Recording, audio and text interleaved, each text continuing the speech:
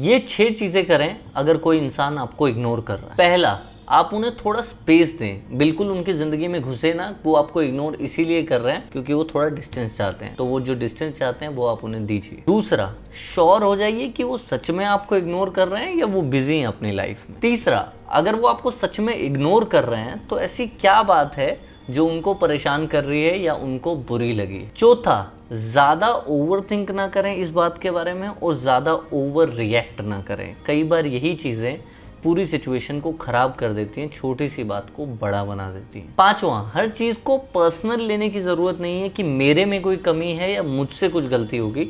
शायद उनका देखने का नज़रिया या उनकी ज़िंदगी में कुछ बदलाव आया हो, जिस वजह से वो आपके साथ अभी इस समय पर बात नहीं कर रहे। और लास्ट पॉइंट हर चीज़ पे सवाल पूछना बंद करो कि क्यों हुआ, कैसे हुआ, ये नहीं होना चाहिए था। जो हुआ, जैसा हुआ, उसे एक्सेप्ट करो और आगे बढ़ो।